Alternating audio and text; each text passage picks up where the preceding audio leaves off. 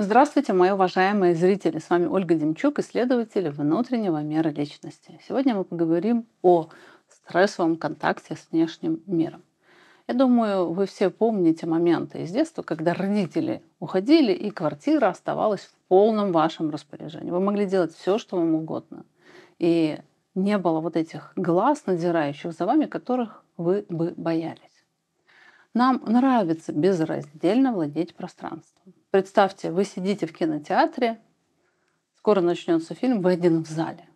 И вы развалились на кресле, все, можно шуршать э, фольгой от шоколадок, хрустеть попкорном, разговаривать по телефону, полная свобода. Но как только появляется кто-то, даже если он вообще не смотрит на вас и даже не оборачивается, когда вы хрустите, шуршите и разговариваете, все равно давление вот этого немого присутствия другого, оно будет нами ощутимо. И это важно понимать для того, чтобы иметь целостное, правдивое представление о том, что происходит. Если вы будете делегировать давление на себя другому, не будете понимать, что вы сами на себя давите, сами сжимаетесь, то тогда и делать надо что-то с другим, а не с собой. То есть, когда я понимаю, что источник давления во мне, что именно я продуцирую это сжатие, то тогда я работаю с этим давлением. То есть, если я источник, я генератор этого, значит, мне надо менять какие-то настройки или не менять, но понимать, что это я делаю с собой. Как только идет проецирование в другого, это он делает со мной, соответственно, для того, чтобы что-то изменить, влиять надо на него. И мы можем начать влиять или злобно смотрим на этого другого, а он вообще не понимает, он ничего не делал, ну, если на меня злобно смотрит, значит, это злой человек, и у него тут же меняется отношение к нам. То есть мы запускаем такую цепную реакцию, которая происходит по необъя... необъяснимой, непонятной нам причине. Этот момент э, важен для того, чтобы сделать свою жизнь комфортнее. Давайте нырнем туда и исследуем это более внимательно. Итак, на этом рисунке изображен человек, безраздельно владеющий каким-то пространством. Безраздельно владеющий пространством помещения, в котором он находится. Например, коридор, очередь, вы ждете врача, никого нет. Вы как будто можете делать все, что вам угодно. И появление другого человека, который ничего не говорит, который даже не смотрит в вашу сторону – воспринимается как давление. Вы в транспорте находитесь один, или же а, вы владеете безраздельно другим человеком. Вот это наша ревность, когда это мой, мой человек. Вот сидят три подруги или три друга, и каждый из них может начать ревновать только потому, что он бессознательно хочет владеть. Он не может себе объяснить, но другой человек он начинает раздражать, он начинает испытывать по отношению к нему злость. Как будто этот другой забирает внимание. Такое бывает, например, на лекциях, когда человек приходит, и приходит время отвечать на вопросы, лектор задает какой-то вопрос, и начинаешь ненавидеть всех присутствующих, потому что как будто они тебе не дают сказать. Возникает громадное количество напряжения. То есть вот непонимание этих процессов генерирует напряжение, которое на человека давит. И тот, кто смотрит давно мой YouTube-канал, знает, что когда у нас слишком много эмоционального напряжения, мы можем вообще разорвать контакт с реальностью. То есть переместиться в пространство бесчувствия, такого безразличия, потому что мы не выдерживаем собственные эмоции. Мы их сначала нагенерировали громадное количество, потом не выдержали, отключили контакт с реальностью, и возникает некая пустота в голове, и мы не понимаем вообще, что происходит. Если мы понимаем, что мы генерируем эти эмоции, то мы начинаем как-то с собой говорить, пытаться разобраться, уменьшаем это давление. Ведь э, наполнение этими эмоциями иногда толкает нас на поступки, которые ну, вообще неуместны, которые э, не, вы, которые не гармоничны в этой ситуации. И мы выпуливаем что-то, вот это накрутили, наварили, выпулили, и понимаем, что ситуация это совсем другая. Человек по-другому к нам относится. Давайте вернемся к этому пространству. То есть, когда человек назначает что-то своим, а у нас есть такая привычка, пространство дома мое. Если кто-то входит посторонний, он как будто враг, который вторгается. Не заходит, а вторгается, даже если мы его позвали сами. Даже бывает близкий человек, когда вторгается в пространство нашей комнаты, он воспринимается нами как агрессор, который нарушает идиллию, а на самом деле он заходит в комнату. Видите, мы здесь с вами наблюдаем разницу между тем, как это воспринимается внутри, и то, что происходит на самом деле. То есть, находясь внутри своей субъективности, внутри своего мира, у нас как будто одна шкала определение или же система координат, по которой мы констатируем, что сейчас происходит, что это. Отвечаем на вопрос, что это. Но если мы смотрим со стороны, то мы видим, что это нечто иное. Вот у моих клиентов э, бывает такой час просветление, когда они смотрят видео сессии, я прошу записывать э, сессии на видео или хотя бы на аудио и учиться смотреть и слушать себя со стороны. То есть, когда я внутри заперт собственной субъективности, я и воспринимаю иначе, и мне кажется, что совсем другая событийность, другие слова, когда я начинаю смотреть на себя со стороны и вижу, что было не так, как я воспринимал. Вот в этом моменте, когда я присутствую, какой-то ситуации и потом смотрю на себя со стороны, можно понять эту дельту, разницу между субъективным восприятием изнутри и объективным, что происходит на самом деле в реальности. Когда другой появляется в нашем пространстве, мы физически ощущаем это сжатие, как будто уменьшаемся в размерах. Видите, когда я занимала пространство одна, я как будто была больше. Как только появляется другой, мне как будто надо уменьшиться и уступить ему место, уступить ему пространство. пространство. Именно по этой причине э, человек бессознательно предпочитает одиночество, даже не может себе это объяснить. Ему кажется, что он хочет отношения, а на самом деле отношений нет. То есть он не стремится их все-таки как-то создать. Некоторые люди именно поэтому не хотят детей. Они не хотят делить свое пространство, свою жизнь, они хотят единолично обладать ресурсами. Ресурсом времени, ресурсом денег и так далее. И здесь речь не о том, как правильно, как неправильно, как плохо, как хорошо. Я всего лишь наз... пытаюсь назвать вещи более-менее объективно, ответить на вопрос, что это Когда мы понимаем, что присутствие другого будет как будто бы уменьшать нас в размере, то мы не будем воспринимать это уменьшение в размере как ничтожность. То есть уменьшение в размере это всегда психикой изнутри, изнутри субъективности воспринимается как ничтожность, неполноценность, меньшая значимость. И это тоже ошибка восприятия. На самом деле, какого размера я была, такого и осталось. Всего лишь уменьшилось мое фантазийное обладание. То есть я когда владелец завода, вил, пароходов, я кажусь себе большой, как будто моя власть на них распространяется, а когда я лишаюсь имущества, как будто я становлюсь меньше. Но на самом деле, какая была, такая осталась. Уменьшилась сфера моего влияния. Так люди, которые были на руководящем посту и по какой-то причине уходят с должности, ощущают эту свою маленькость. Но на самом деле они становятся реального размера. Вот когда мы находимся в компании и касается вопросов, в котором мы экспертны, сведущие, мы как будто расширились в размерах, нам есть что сказать, мы ощущаем больше значимости. А когда речь заходит о том, чем мы не разбираемся, то тогда мы ощущаем как будто неполноценность, но на самом деле мы становимся реального размера. Вот эта невозможность укорениться в своем реальном я и создает ощущение неполноценности. То есть для неполноценности нужно нечто большее. Я был вот такой, потом стал таким.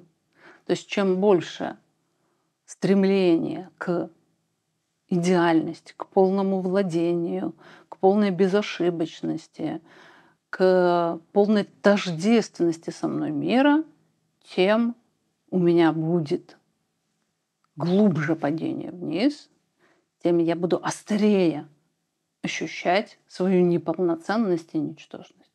То есть фактически неполноценность не надо лечить, надо лечить величие, из-за которого человек себя, себя таким чувствует.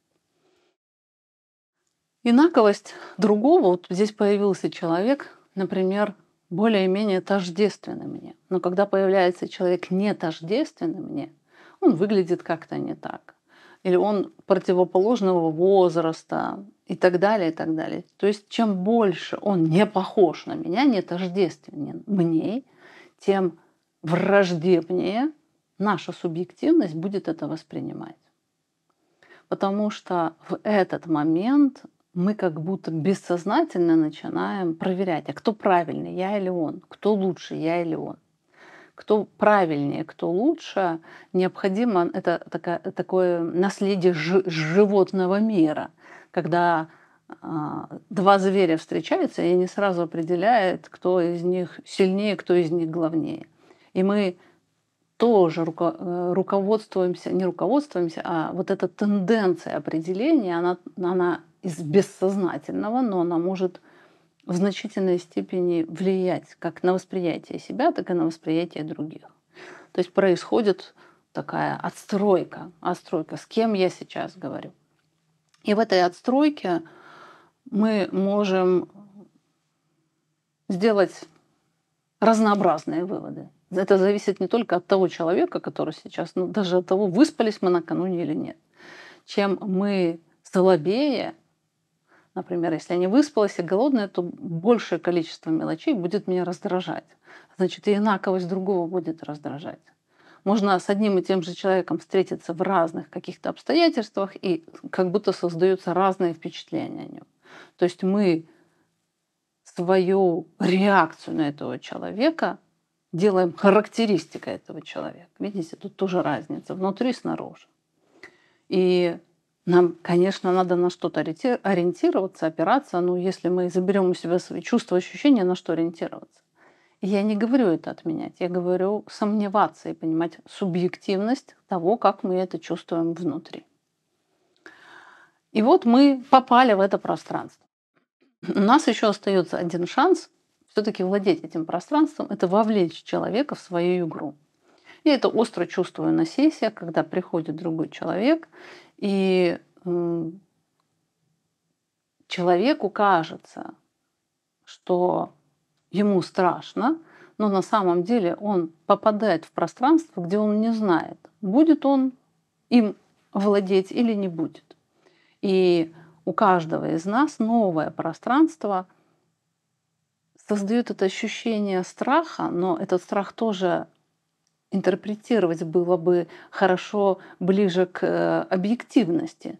То есть, то есть это страх непонимания, смогу ли я владеть этим пространством, будет ли оно принадлежать мне.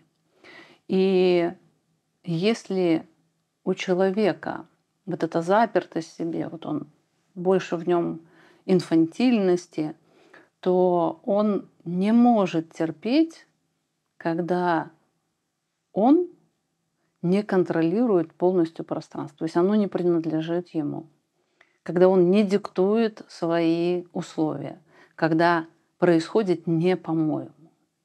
То есть вот эта наша зацикленность на себе, она создает такого зверя, который хочет всегда, чтобы мир давал ему сразу желаемое, и чтобы этот мир был всегда тождественен желанием. И люди, которые хранят свою субъективность, они не желают пересматривать свое мировоззрение, не желают сомневаться в том, что они чувствуют, не желают понимать эту реальность, знакомиться с ней. Они хранят как яйцо мечты о мире, где будет все по-моему, эти люди находятся в состоянии жертвы. То есть это все время появление себя, обнаружение себя как жертв. Ну, потому что все не по-моему. Ну, и действительно, попасть в реальности в желаемое, это как в игольные ниточки в игольное ушко. Это достаточно сложно. И поэтому чем нереалистичнее требования у личности к миру, к другим людям, тем больше он будет страдать. Ну, потому что не по-моему. Боль, боль, боль, боль, боль, боль, боль, боль. И эти люди в разговорах чаще всего жалуются. Вот это не так, то не так. И внутри они уверены, что страдают. Но снаружи мы понимаем, что они токсичны. Вот это нахождение рядом с, с этим человеком как с некой токсичностью, которая внутри переживает это как боль, как страдание, а снаружи это недовольство, а, обесценивание того, что есть. Итак, мы попали в пространство с другим человеком, и нам будет бессознательно хотеться подчинить этого человека, навязать свои правила. И когда мы эти правила не можем навязать, мы будем воспринимать себя как жертва, как отверженный. Вот это ощущение, что меня отверги, меня не принимают, возникает только в случае, если вы жаждете вменить всем такое отношение к себе, как вам хочется, и вменить свои правила игры. Вот это наша манера втаскивать другого в свою субъективность, как ребенок, которому дали куклу, он в закрытой комнате, ему куклу подшвырнули, он начал с ней играть.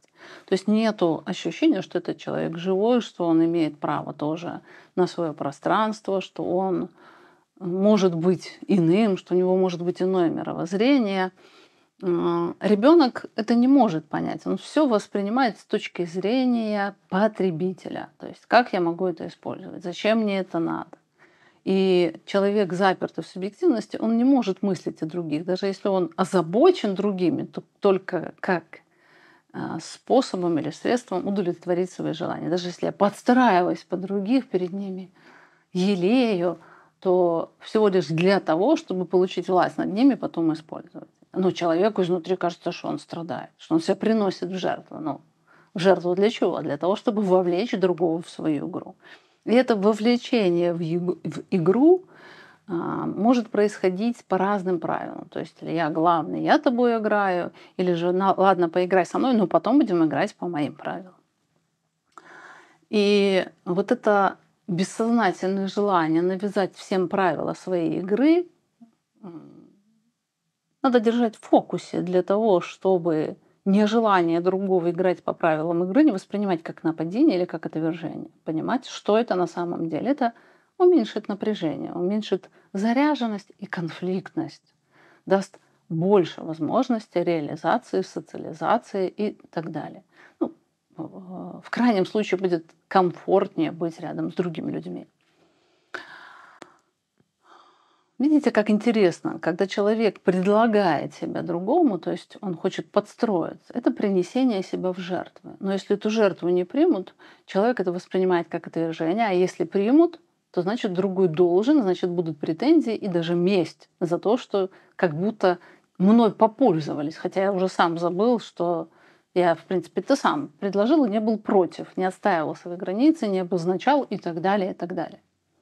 Вот это вот страдать и жаловаться, если у вас есть такая манера страдания, почему важно узнавать? Потому что э, страдание и жалование все не так, все не то, это плохо и так далее, и так далее, это рассказывает о запертости в себе, о отказе, о протесте против реальности. Я не хочу понимать, какая она, я хочу, чтобы было по-моему, и я буду страдать.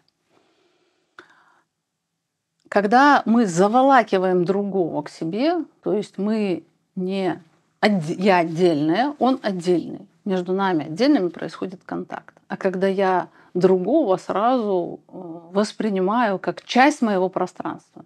То есть изнутри, как я вижу, вот я нахожусь в комнате, не знаю, жду лектора.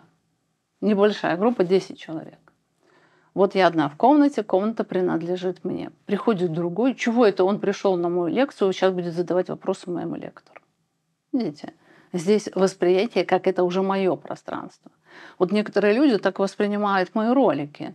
Им кажется, что если они смотрят мой ролик на своем телефоне, то я уже как будто обязана там, или развлекать, или говорить то, считаю, то, что э, я считаю правильным, как-то выглядеть э, и так далее, и так далее. То есть это желание при просмотре чужого ролика сразу рассказать, как другому надо вести, как правильно говорить, это и есть вот это вот захват этой власти, захват пространства такая диктаторская позиция, когда я расскажу, каким должен был, быть мир, и вот я тоже вам расскажу, потому что он выше в моем телефоне, значит, вы уже моя собственность. И вот это затаскивание, оно чем чревато? Другой человек уже не может восприниматься как генерирующий, например, грусть по своим каким-то причинам. Если он грустный, значит, это имеет отношение ко мне. Если он злой, это имеет отношение ко мне. Если он улыбается, значит, это имеет отношение ко мне. То есть все, что происходит с другим, сразу начинает восприниматься на свой счет. Это тоже создает громадное количество эмоций, которые невыносимы. То есть человек, генерируя вот эти вот эмоции, он как фабрика, с которой которая не созидает что-то, а все время пар выпускает. Этот пар даже часто не используется для действия, если используется для действия, для какого-то разрушительного. То есть я генерирую эмоции, я устаю, у меня как будто бурная жизнь, а по факту ничего не происходит в реальной жизни. И вот это быть отдельным, быть отдельным, это умение, а, это для того, чтобы быть отдельным, для того, чтобы не зависеть от реакции на себя, необходимо отказаться от короны, от царствования в этом мире. Я расскажу, каким должен быть этот мир, кому как краситься, стричься, выглядеть и что говорить.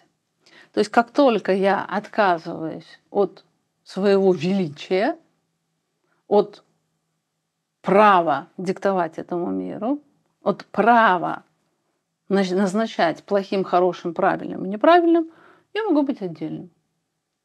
Ну, тогда общение с другими, накал в этом общении снижается, и становится легче жить, и появляется энергия уже на что-то другое.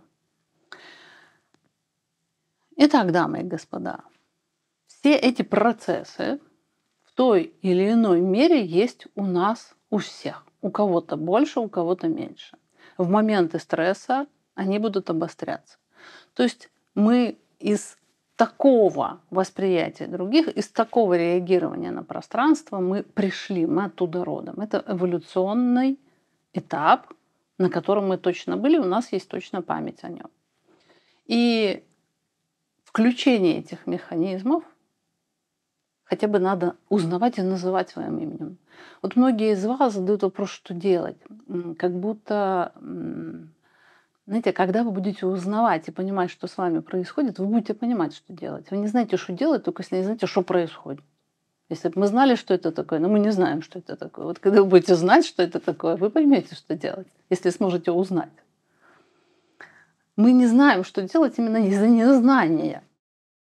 Поэтому эти ответы на вопросы, они помогают создать реалистичную картину мира. Это как в шахматы. Если я понимаю, как ходят фигуры, какие тут правила, я понимаю, как ходить. Если я не понимаю, если у меня э, невозможность властвовать воспринимается как отвержение, то какие я могу выводы сделать? Меня отвергли, все люди плохие, и все, я плачу. Понимаете? То есть, ну, вывод и действие будет абсурдное, с абсурдными, с разрушительными последствиями. То есть первоначально наш этап мы как облако появляемся, потом как жертва. Как жертва, у которой мир не такой, как надо. Видите, тут человек, окруженный болью. Всего больно, он все терпит. Вот это вот я столько терплю, вот это вот мир и людей, которые не такие, как мне надо. Я так страдаю от этого. И человек уверен, что он страдает, даже плачет. Плачет, и он считает, что вот несправедливо. А уже потом когда ты отдельный, когда ты отказываешься от этой власти, от э, дикта диктаторства миру, каким он должен быть, то боль уменьшается и, возможно, включится даже мышление. И тогда можно будет адекватно, стратегически общаться, не утопая в собственных эмоциях. Итак, дамы и господа, попробуйте описать сами, и я прошу становиться друг для друга учителями, то есть не быть только потребителями, которые как молочко матери пьют информацию из моих роликов, а тоже начинать отдавать. Ваш комментарий – это возможность отдать. Я предлагаю описать, что происходит с вами, когда в вашем пространстве появляется другой. Я это описала, да, но давайте с вами сделаем коллективную работу. Попробуем создать более целостную, многогранную картину, что происходит с нами, когда в пространстве, которым мы как бы владели, появляется другой. Это описание с разных сторон даст нам целостность. У нас вместо плоской картинки будет 3D. И вы таким образом поможете другим, которые будут читать, обнаружить это в себе. И таким образом мы становимся не младенцами, которые могут только потреблять, но и отдающими. Так, ролик я закончила. Напомню, что у нас в эту субботу уже начинается проект ИВМЛ. Это самый крупный мой проект, который я провожу. Там 7 лекций. В этом проекте вы получите целостное представление моей теории о том, как устроена психика.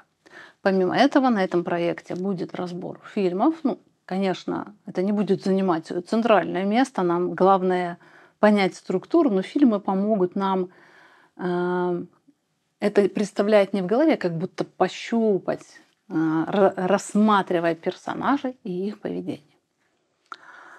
Ну что, еще у нас есть группа «Сталкер». Э, это психоаналитическая практика. Можно почитать на сайте Ольга Демчук.орг. И напоминаю, что по вторникам выходит видео для спонсоров. Вы можете стать спонсором и получать дополнительное видео. Все, прощаюсь, до встречи.